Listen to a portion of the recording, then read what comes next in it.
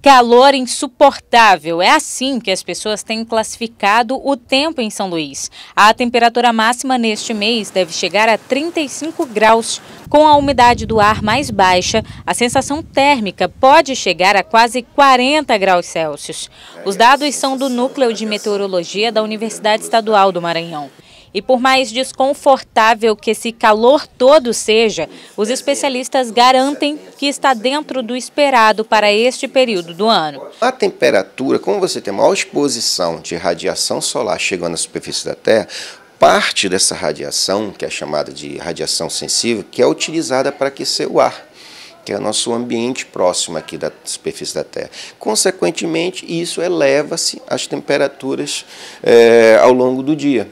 Para amenizar os impactos da exposição ao sol e ao calor, tem gente intensificando alguns cuidados. A única coisa que eu faço é usar o guarda-chuva e tentar usar um protetor, mas eu acho que nem um protetor não dá conta para o calor que tá, tá horrível. Né? Mas a gente tem que usar, beber água, fazer um, uh, usar o protetor solar para ver se melhora, mas tá difícil. Beber muita água, né? E também tá é onde a gente vai, a gente tem que levar água, porque senão a gente desidrata, passa mal. Comer também é muito, muito recomendado, porque a gente fica desgastado. E é bom continuar com esses hábitos, viu? Porque a previsão é que esse calorão continue fazendo todo mundo suar até pelo menos a segunda quinzena de dezembro. Nesse período, é possível que haja pancadas de chuva, mas nada que faça o mormaço passar.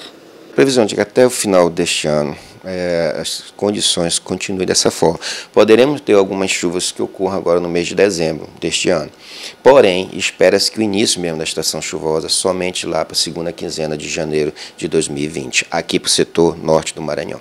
Quem comemora é o seu Manuel. As vendas de água nunca estiveram tão boas. A gente vai dar uma faturada aí, até bacana, né? Que aí o final do ano tá chegando aí, precisa arrumar as coisas pro pra garotada aí, né? Pra... Aí a gente vai levando assim, nesse ritmo aí, nesse coisa aí pra faturar mesmo.